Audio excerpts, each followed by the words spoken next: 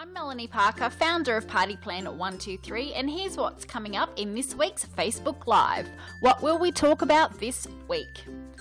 A question from Adriane. How many days out do you recommend booking the party? Next up, a question from Barbara. Is it okay to use flashcards to keep you on track at the party? And finally, a question from Diana. Do we use the bookings funnel to pick a date for our new hostess in front of the party guests or later in the one on one shopping time? These are the questions we answer this week. Join us for this week's Facebook Live at facebook.com forward slash partyplan123 thank you